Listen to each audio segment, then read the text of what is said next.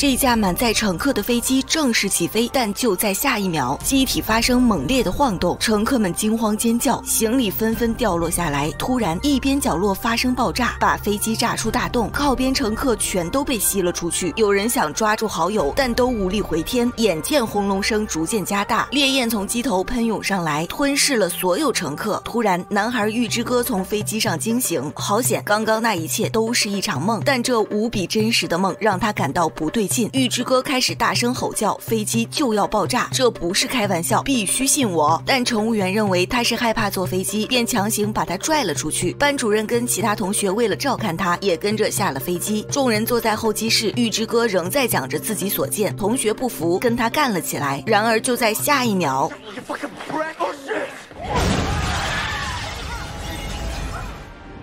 玉之歌的预言成真了。事后，幸存的七人被带到警局，各自做了口供后，便都被放回了家。葬礼上，幸存的几人都对玉之歌心有余悸，不敢和他过多交往，认为他就是个瘟神。晚上，玉之歌正待家里看杂志，一张碎纸落在腿上，他捡起来一看，上面写着幸存者之一托德的名字。没错，死神来收人了。托德这边正在浴室收衣服，结果下一秒。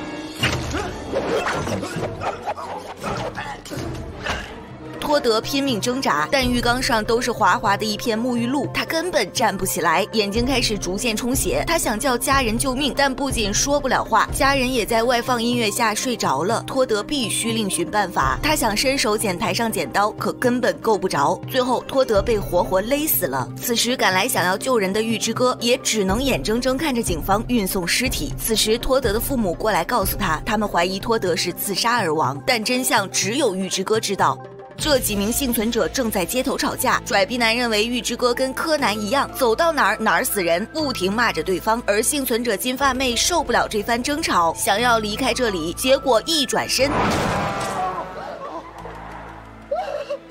事后，玉之哥在新闻上发现，飞机失事的关键原因就是易燃气体泄露，引发了机内一连环爆炸。玉之哥将这条爆炸路线绘制在七名幸存者的座位表上，这才发现爆炸路线居然跟幸存者座位完美匹配，并且从头到尾的顺序跟现在死亡顺序完全一致。这一下，玉之哥知道了下一个死者就是活下来的班主任。他连忙跑到班主任家外，却被对方发现，报警把他给抓走了。班主任放下心后，回到屋内擦着。水壶，结果水壶上却倒映出一团黑影。他紧张的回过头，但没有发现异常。他只好倒杯酒压压惊，殊不知杯子却裂开了，酒水滴了一路，还把电脑给滴短路了。很快浓烟升起，班主任连忙凑过去一看，可就在下一秒。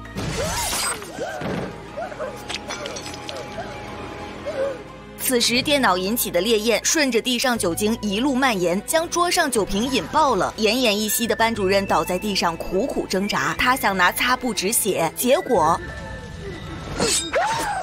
此时，从警局放出来的玉之歌赶到了现场，见老师没了呼吸，他却脑子一抽，居然把刀拔了起来。他这一下不就成了杀人凶手吗？好在玉之歌反应过来，立马逃离了现场。事后，幸存者中的棕发姐、拽逼男和格子哥找到了被警方通缉的玉之歌。拽逼男想要知道什么时候轮到自己死，却被玉之歌无情拒绝。尽管他知道拽逼男就是下一个，但他不想对方就此提心吊胆，只好找借口拒绝了。拽逼男这。一听火气就上来了，立马踩死油门往街上冲，随后把车停在火车轨道上，想要和大家一起同归于尽。此时火车就要袭来，其他三人连忙逃下了车，并不停哀求拽逼男让他不要自寻短见，赶紧下车活命。拽逼男被说服了，他想要开车逃离，但根本点不着火，甚至想要开门出去时，车门居然自动反锁起来，并且身上的安全带也完全解不开。眼见火车就要撞上，玉之哥立马冲上去救人，终于赶在火车撞上前。救下了拽逼男，然而还没开心几秒，身旁飞速行驶的火车将地上一片汽车碎片卷了起来，唰的一声，干净利落的将格子哥给断头了，多么恐怖！玉之哥立马悟到了一切，只要本该到死期的人没有死，或者被人救下，那么死者就会轮到下一个目标，而格子哥过后，玉之哥就是下一个死者。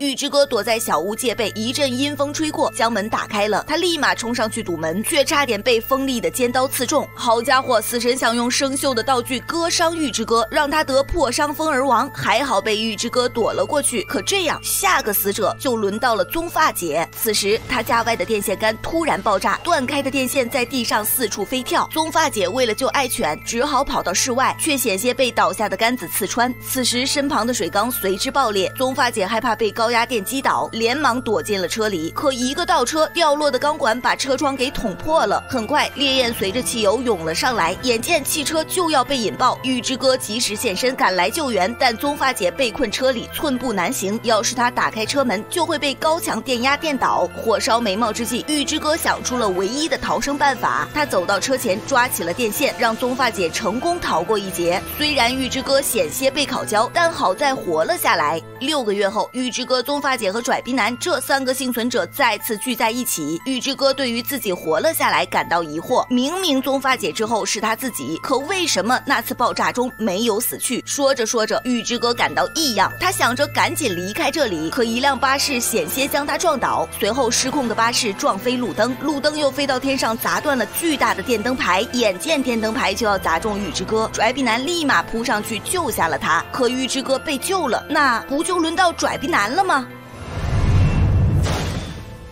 好了，今天的节目就到这里。这部电影叫做《死神来了》，欢迎关注科幻战舰，我们下期再见。